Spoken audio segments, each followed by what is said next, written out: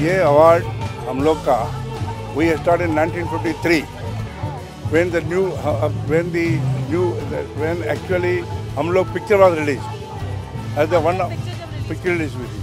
हमारा friend was singing a song अंधे जहाँ के अंधे रास्ते एंड ही वाज पूरी dunk man and we start life from that and started with hundred rupees collection we are had a chief guest he donated 52 rupees as a first donation in those But now we are more.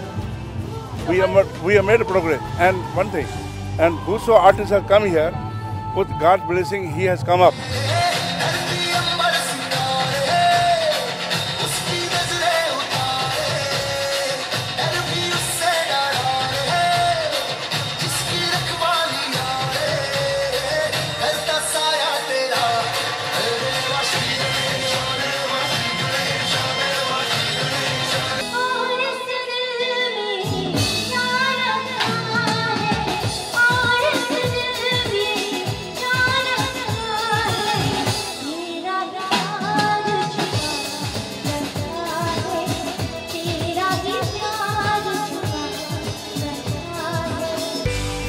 To know more about your favorite superstars, subscribe to Bollywood Wala now and hit like if you like this story.